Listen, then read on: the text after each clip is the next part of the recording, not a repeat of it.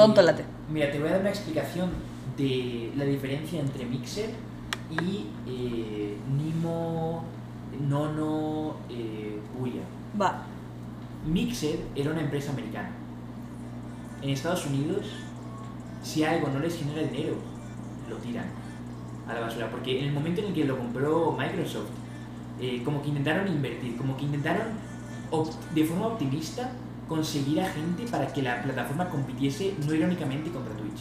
O sea, real. Contrataron a Ninja. Como que tenían fe real en que compitiese. Ajá. Pero no entendieron que muchas veces, eh, digamos, en Twitch, Estados Unidos, hay demasiados creadores. ¿Sabes? Y porque un creador tenga mucha gente no significa que ese creador sea la razón por la que esa plataforma está ahí de arriba, ¿no? Pero entonces vieron que no funcionó, no creció, se fue a la mierda, invirtieron millones en algo que no les dio nada de vuelta, ¿sabes?